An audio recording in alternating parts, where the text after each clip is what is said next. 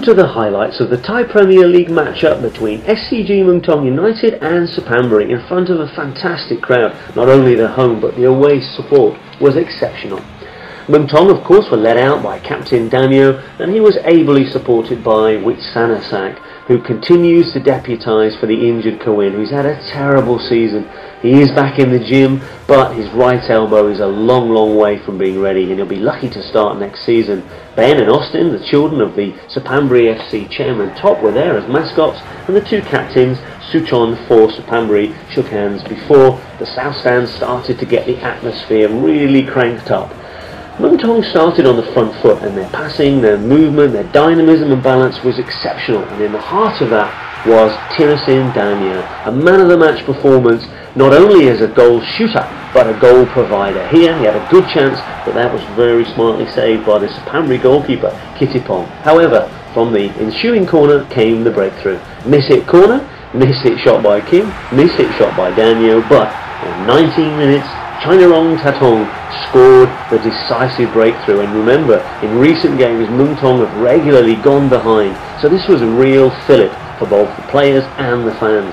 The first person to greet Chainarong was Mai who later was to have a terrible time of it after only 39 minutes but more of that later. So the players gathered together for their scoring shuffle. They get everyone together, the linesman tries his best to curtail it but the celebration continues before they return to the halfway line. So a bright and bubbly start with a really crackling atmosphere and a, a, real good message to send out to the fans that the club are getting stronger, the players are working better and better together. You see from a different angle as well the speed of movement, the speed of thought of Chainarong to get that goal into the back of the net to allow everybody to celebrate. So 1-0 to Muangthong, and they had one or two other chances in the first half. They really did dominate most of the possession and the play. The Poznan was celebrated by the South Stand, and again the crackling atmosphere of the evening continued. Teerasil and Mario again matched up. The goal was gaping, but the goalkeeper stayed nice and big. The ensuing corner, Daniel rammed the ball against the bar, and Bos- Boskovic cleared. There was a chance for Suphanburi. Old boy Napat, if you remember, Napat was signed from Songkran earlier in the season and uh, last season, but didn't play much. But then disaster. 39 minutes, Mai switches off. Diame makes the most of the challenge and gets the penalty when really there was no other alternative for the referee. Mai will be bitterly disappointed with that. He should have just kicked it out. Who wasn't disappointed? Dragan Boskovic, who puts it away with real aplomb. He's had an excellent season and a real find for Suphanburi, giving you that physicality and that presence up front. But Muangthong came straight back. They didn't let that equaliser affect their play. A rather savage free kick from the edge of the area. Mario wasn't able to lift it over the wall, however. On the left-hand side again, where Muangthong had a lot of success, Daniel was eventually to have a thunderbolt of a shot, saved well, again by Kittipong, who looks a good solid goalkeeper. This time, Teerasil came down the right side. Most of his work was down the left, but he puts the ball across beautifully, but Muangthong are unable to score. So that left side third is where Teerasil absolutely destroyed the defenders. Here was a bit of a warning shot for future events as he puts the ball across.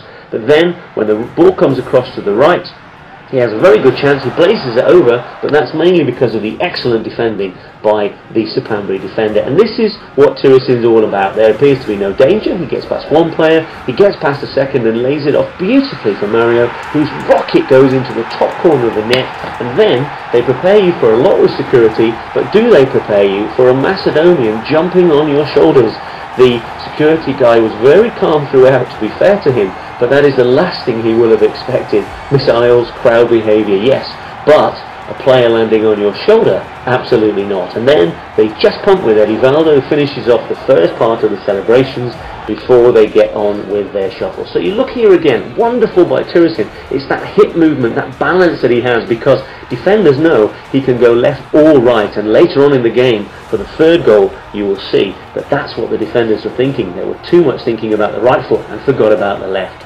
The security guard uh, is perfectly fine and remained calm throughout. Mario realises what he's done and unfortunately of course he'll pick up another yellow card for his celebrations. I think he's collected more yellow cards for celebrations than he has for his performance on the pitch. So the players get together, it's 2-1 and Muang Thong continue to go on the front foot but of course at the back of the mind is always the fact that recently they've conceded far too many goals and they needed to try and seal the game as quickly as possible. There were more chances to be had and this could well have been a penalty. It was a very clumsy challenge by former BEC Tero defender Pratt and he looks very sheepish as he walks away and realises he probably got away with one then.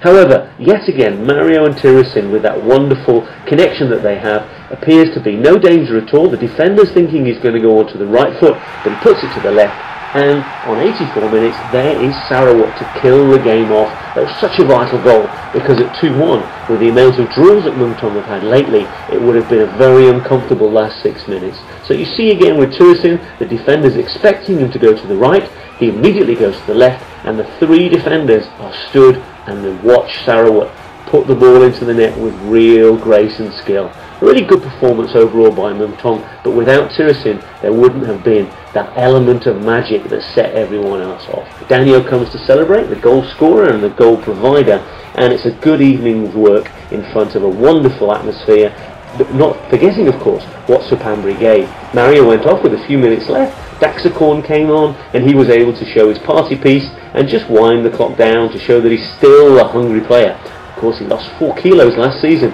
and is looking much, much fitter and a very good man to bring on towards the end of the game. There was chance for one or two more efforts on goal by Muang Thong, but the structure and the discipline remained strong throughout. There wasn't any kind of nerves at the end, which there often are in these kind of games. A beautiful shot by Teerasil, a marginal decision for offside there, uh, but probably the linesman got that right.